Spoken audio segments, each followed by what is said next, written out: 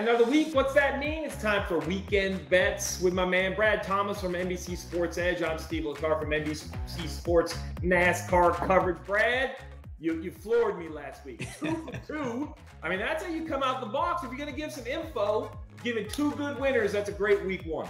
Yeah, absolutely. Actually, surprisingly, I had two sweeps in two days on articles last week, which is, you know, dumb dumbfounded. So let's keep up that action. You know, I'm so stoked. All right, so listen, I'm not gonna lie. I love betting sports, but I tiptoe into soccer. It scares me a little bit. I don't know much about it. I know it's a big weekend. Premier League kicks off this weekend on NBC Sports. What are you looking at? Is there a game, a matchup? What's the best bet when it comes to some soccer action? Yeah, so my first one is a parlay. Everyone loves parlays. I normally don't go more than two legs, but I got a couple legs today. This first one is a two leg parlay. Tottenham's taking on Southampton. I'm backing their team total over one and a half goals. They're playing against a Southampton team who's not all that good defensively. This is a Tottenham team who has very lofty expectations. The other side of that parlay, Liverpool money line, and they're playing against Fulham. Liverpool want to win the EPL. They know that they have to beat the bottom dwellers. This parlay it rounds out to be about minus 123. I think that's great value for two legs that should pretty much hit with ease. I'm going to tell you, you're going to learn from me when we get later in the football season. I love a three leg parlay with a delayed third leg. That way I can hedge some off. Yes. Know, a pretty good winner. So, all right, like I said, it's a big kickoff uh, soccer weekend. I'd give you some NASCAR action, but I'll be honest, I looked all the way through it. The books are tight this week. Every odd I like. I don't see any obvious picks. So I'm going to jump on the uh, the soccer train with you. So I've got my pen out. I got my first parlay down. What else should I be betting? All right, these are two separate DGen plays. I told you before, I love corners. It's in the Fulham Liverpool game.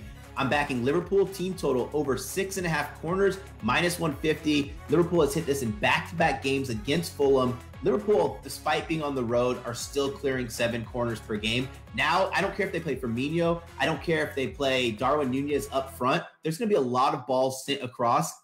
That's just giving more deflections and more corners. And the second one, this is basically on a play that Fulham are going to get their behinds kicked.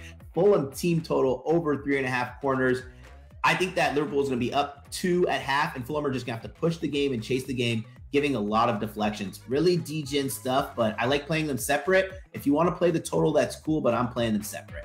All right, now listen, I love a good degenerate bet. When you start yes. talking about corner kicks and soccer, you have my interest. So I got one for you. If you want okay. to flip over to the degenerate American football side, I know we just got the Hall of Fame game underway last week. Speaking of which, ching, one over. First game, one over. Let's go. I will tell you this, though the player props are posted on PointsBet. Every team basically has a quarterback, total yards for the year, maybe a running back. If they have a star wide receiver, they're on there.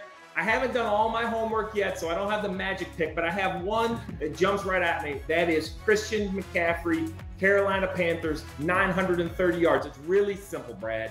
We're betting on his injuries. Okay. If he plays every game, he's probably going to go not north of 930. But if he plays every game, it'll be the biggest eclipse ever in Charlotte. The guy cannot stay healthy. I love the guy. He's great for the community. He's a great person around Charlotte, but he can't stay healthy. I am hammering the under, nice long season play, and I'm digging into the PointsBet website because I'm telling you there is a lot more degenerate action. I really believe just bet a unit on the end on every quarterback. Heck, half of them won't be starting okay. by week 10. Welcome to the NFL. hey, I love that. Listen, I have a DGen parlay. It's plus 580. Hear me out.